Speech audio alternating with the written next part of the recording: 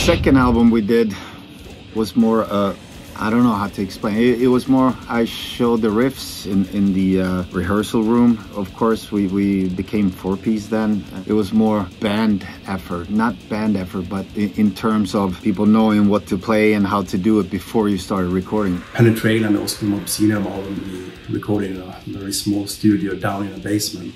We had to use what was available in the studio at that time and compared to what a studio looked like today it was nothing but at the same time, we had a really, really good time together and uh, we gained a lot of experience from it, I think. We did a demo for a track demo, The Pleasure, from Relapse that released it in, as an underground thing. That was actually the demo for Osculum. I think it's Mikael's sister playing piano in the beginning of the video of uh, this uh, Pleasure Molestation song. And we rented this place in local town and uh, did the video and just rented in a bunch of lights and things like that. Yeah, then we actually kind of had a band. It was translating from my solo songs to uh, writing for a band. And Mikael had a, a, few riffs on there. Lars had a few riffs on there. I mean, Mikael basically wrote Necronomicon, I think, by himself pretty much. And then again, the rest was me, but Althotas, I think uh, Lars was involved in and stuff. So,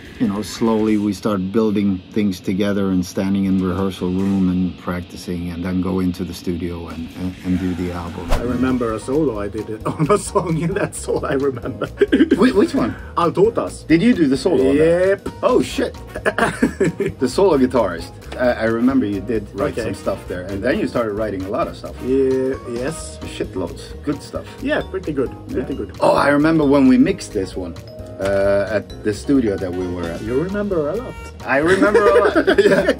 But the funny part was like when we were done, we came back to do the mixing in, in, in the um, in the weekend, and there was no echo, no reverb, no nothing because it was out on the road. And I remember you said, "Hey, fuck it, it's death metal. Let's just go." so sometimes you, you, can hear the vocals go bah! loud and shit because we didn't have compressors and there is no reverb, no nothing on that album. It's as dry as it gets. My favorite. Yeah.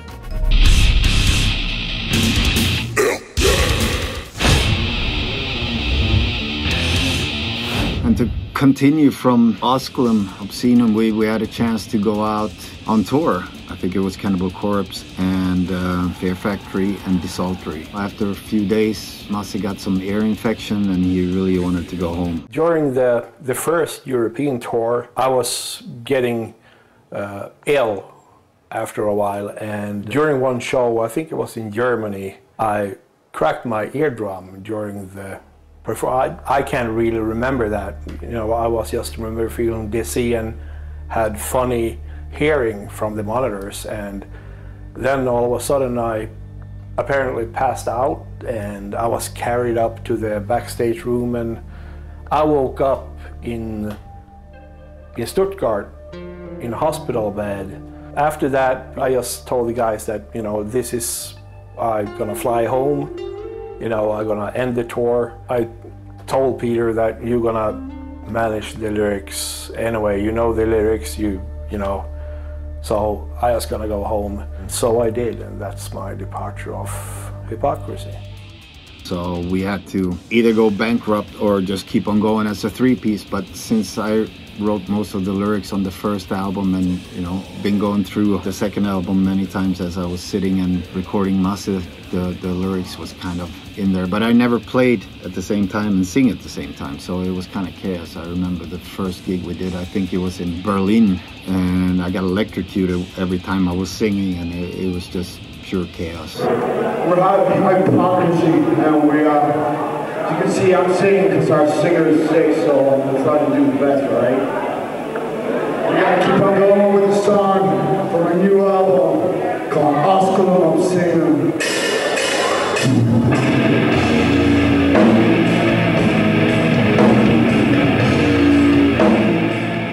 Anyhow, we, we uh, proceed doing 25 shows on that tour and when we got home we just decided to go three piece first we tried with this um, Inferior Devoties uh, mini album and to see if i could sing because i couldn't on the demos from 91 but you know after playing live and practicing and stuff i, I, I think I got a hang of it. So after we re-recorded vocals on, on um, Inferior, it felt like we had enough confidence to, to go three-piece. So that's really how the Inferior Devoties uh, mini CD came out and we had a few bonus songs, new songs on there. And also we did this uh, Black Magic with the Slayer cover on there. So we had four songs. So that was the end of that.